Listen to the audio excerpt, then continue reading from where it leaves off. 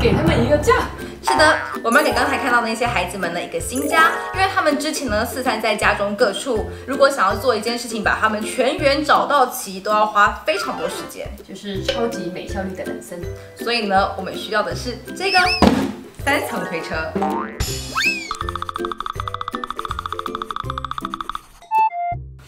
看一下哦，它这个说明书啊，其实里面内容步骤都画得非常的详细。这种自己 DIY 的家具或是玩具，真的是非常合我胃口。偶尔来动手做一下呢，也会非常有成就感。而且其实现在的设计都还蛮亲民，不用花你太多的时间，也不是太难就可以完成。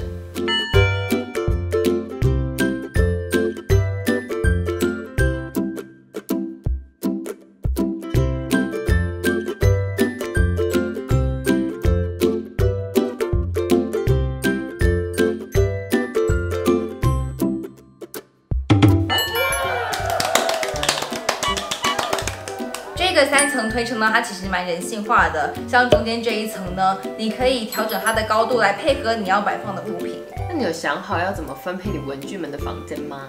我想这个三楼呢，可能会放一些像是笔之类的用品，因为它的应用机会是比较高的。那放在这个三楼啊，我也会比较好方便拿取。不过笔的种类的话，要是很多，我们就可以再替他们做一些隔板啊，或者是拿一些漂亮小盒子，把它们区隔开来做分类。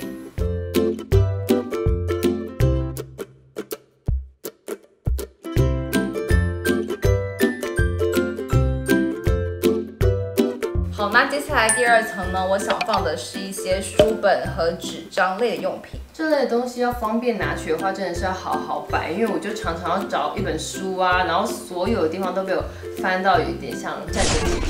那我们可以先按照它们的不同的种类还有大小来做个区分，最后再用成一个比较方便去辨识的方式来摆放。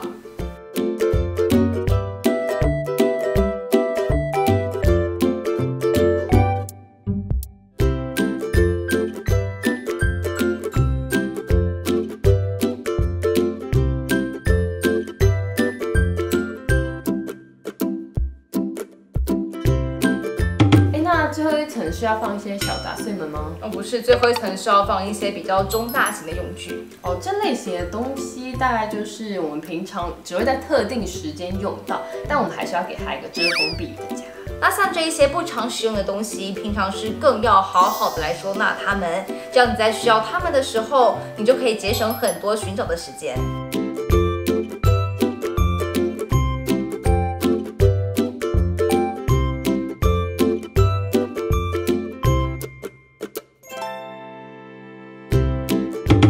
已经把这些搜刮出来的文具和用品们全部都整理好了。虽然其实我觉得它长得有点像法郎在用的推车，但整理起来还是非常的清爽的。说不定他们真的是同款，但是呢，我们是把它作为一个工具车的用途。但我觉得是蛮可以的啦，虽然要花一点点的时间，但它真的不难组装，人人都可以试试看。平常可以偶尔花一些时间来检视一下自己的文具或是一些生活用品们，再把它收纳成一个美好的样子，这个过程也非常疗愈。大家赶快去试试看吧！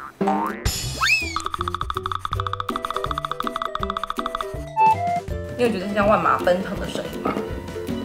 我觉得这是。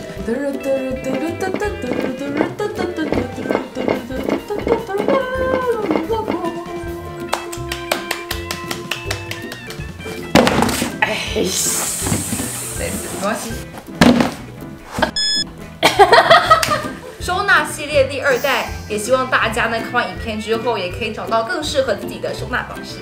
如果您也有自己独门的收纳方式，也欢迎和我们分享哦。订阅、按赞，再把影片分享给你的朋友或是同好哟。呼呼呼！好的，拜拜。拜。